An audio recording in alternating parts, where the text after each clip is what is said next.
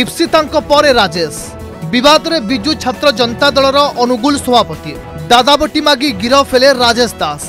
ତାଲଚେରରେ ଏକ ଠିକା କମ୍ପାନୀକୁ ଦାଦାବଟି ମାଗି ଗିରଫ ହୋଇଛନ୍ତି ରାଜେଶ ଦାସ ତାଲଚେର ସାର କାରଖାନାରେ କାମ କରୁଥିବା ଏକ ଠିକା କମ୍ପାନୀକୁ ଧମକ ଚମକ ଦେବା ସହ ବଟି ଆଦାୟ ଅଭିଯୋଗ ରହିଛି ରାଜେଶଙ୍କ ନାଁରେ ଶାସକ ଦଳର ପାୱାର ଦେଖାଇ ଦାଦାଗିରି କରୁଥିଲେ ରାଜେଶ ଦେଖନ୍ତୁ ଏ ହେଉଛି ତାର ପ୍ରମାଣ বিজেডি বিধায়ক ব্রজকিশোর প্রধানকর পাখে পাখে কেমিতি বুলুছন্তি রাজেশ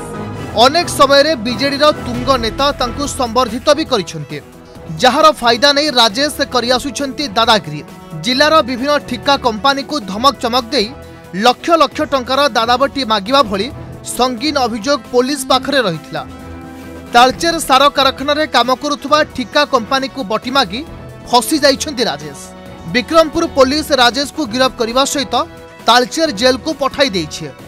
ଏହା ପୂର୍ବରୁ ବିବାଦକୁ ଆସିଥିଲେ ବିଜୁ ଛାତ୍ର ଜନତା ଦଳର ମହାସଚିବ ଇପ୍ସିତା ସାହୁ ଇପ୍ସିତାଙ୍କ ନାଁରେ ଭୁବନେଶ୍ୱରରେ ବସ୍ତି ବାସିନ୍ଦାଙ୍କୁ ଠକିବା ସହିତ ଦାଦାବଟି ମାଗିବା ଭଳି ଅଭିଯୋଗ ରହିଥିଲା ଆତ୍ମହତ୍ୟା ଉଦ୍ୟମ କରିଥିବା ଜଣେ ଅଙ୍ଗନବାଡ଼ି କର୍ମୀ ଅଭିଯୋଗ ଆଣିଥିଲେ ବାରମ୍ବାର ଇପ୍ସିତା ତାଙ୍କୁ ଟଙ୍କା ମାଗି ହଇରାଣ କରିବା ସହ ଧମକ ଦେଉଥିବାର ସେ ଅଭିଯୋଗ ଆଣିଥିଲେ ଶାସକ ଦଳର ଯୁବ ନେତାଙ୍କ ନାଁରେ ସଙ୍ଗୀନ ଅଭିଯୋଗ ସତ୍ତ୍ୱେ ଚୁପ୍ ବିଜେଡି এবে প্রশ্ন উঠুଛି ଏହା କ୍ଷମତାର ଦୁରୁପଯୋଗ ନୁହେଁ କି କାହିଁକି ଏ ସମ୍ପର୍କରେ ମୁହଁ ଖୋଲୁନାହାନ୍ତି ବିଜେଡିର ବରିଷ୍ଠ ନେତା ଅନୁଗୁଳରୁ ତପନ ଦାସ ତାଳଚେରରୁ ଅଜିତ ବେହେରାଙ୍କ ରିପୋର୍ଟ ଅର୍ଗସ୍ ନ୍ୟୁଜ୍